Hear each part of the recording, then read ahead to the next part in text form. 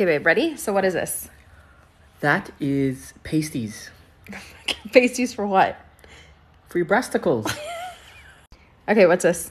uh, that is either something very inappropriate or a face roller, I think. That's a face roller. Okay, what's this? Oh, I seen these. These are one of them standing urinal devices for them females.